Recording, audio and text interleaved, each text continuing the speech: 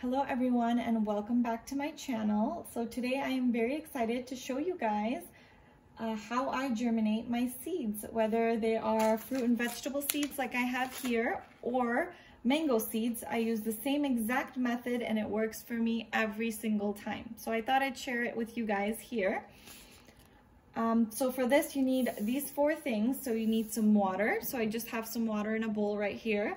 You need paper towels, you need Ziploc bags, and you need your seeds. So these are the only things you'll need. So let me go ahead and show you guys. So I'm gonna take about, I think about three. So here you go. And then you take your three sheets and you fold it in half.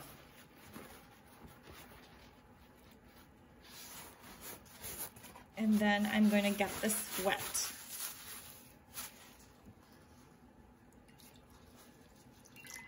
Since I'm not near a sink right now, that's why I have the water in a bowl. And now I'm gonna open this up slowly.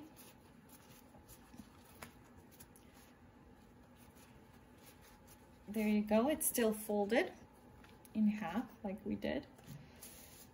So now in here, you are going to choose whatever seed that you are going to be germinating.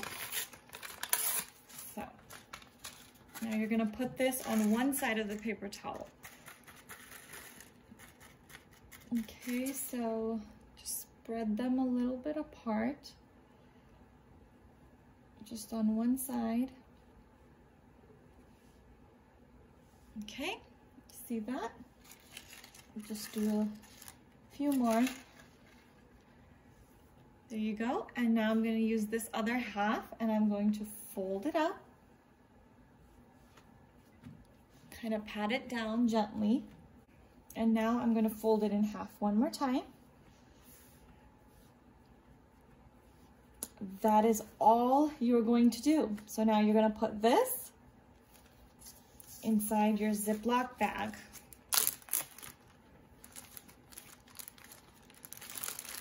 Put it nice and flat in your baggie,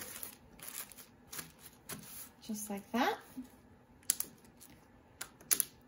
Close it up, nice and secure. Put it away in a nice secure place. So I usually just put mine on top of the fridge. So there you go, you made one. Whatever you have in the bag, make sure you label it so that you don't forget what the seeds were for.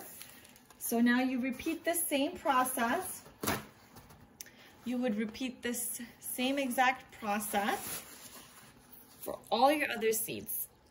And that is all. So we will go ahead and check on these seeds one week from today. Hello everyone and welcome back. Today is day seven and we are checking on what happened to these seeds.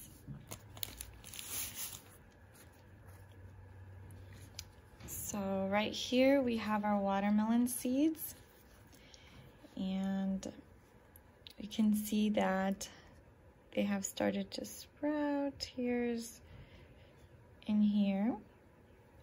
A few of them, nothing has happened yet, so we are going to, here's a third one, so we're gonna have to wait for more to come out. Okay, let's move on to the next one. So this is the pepper. I don't know which pepper I've done. I did two types of peppers, so they, both the seeds look alike. And as you guys can see, a few of them have just started to come out. It looks like peppers take a long time to germinate because they barely have any germination.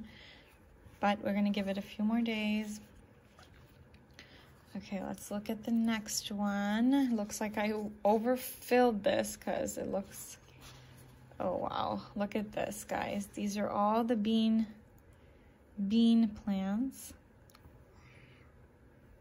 And you can see how nice and long the roots are. Beans usually do uh, very well. They grow really fast, so there's that. Oh, I think one of my seeds fell out of one of these, so Okay, let's check the next one. Oh, look at how beautiful that is. These are all the cucumber seeds and you guys can see even the plant is starting to come out. The green part is the plant that's wanting to come out. So these are definitely ready. A lot of these are ready for um, being planted inside some soil. Okay, so the next one we have here are, okay, these are pepper seeds as well.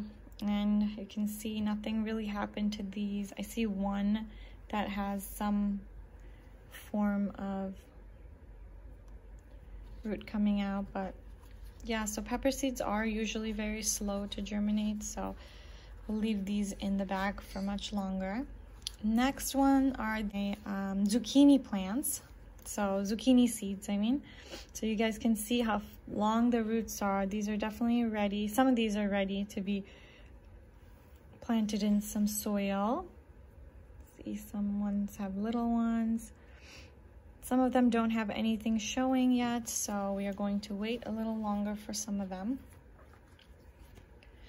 Next one, ooh, these are my okra. I'm very excited to grow okra this year. I didn't have great luck last few times, but here, look at that. There's the okra roots, nice. So some of them don't have anything coming out of them, as you guys can see.